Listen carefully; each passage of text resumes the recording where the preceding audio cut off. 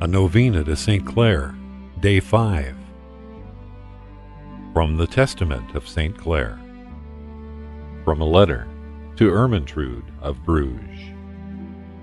O dearest, look on heaven that invites us, and bear the cross and follow Christ who preceded us. Indeed, after various and many tribulations, we shall enter through him into his glory. Love with your whole heart God and Jesus, his Son, crucified for our sins, and never let his memory escape your mind. Make yourself meditate continually on the mysteries of the cross and the anguish of the mother standing beneath the cross. Dear St. Clare, as a young girl, you imitated your mother's love for the poor of your native Assisi.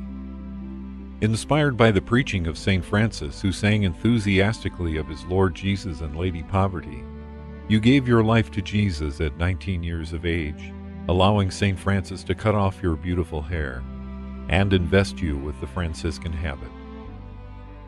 All through your life, you offered your great suffering for your sisters, the poor Clares, and the conversion of souls.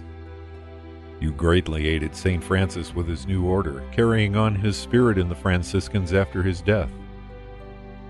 Most of all, you had a deep love of Jesus in the most blessed sacrament, which fueled your vocation to love and care for the poor.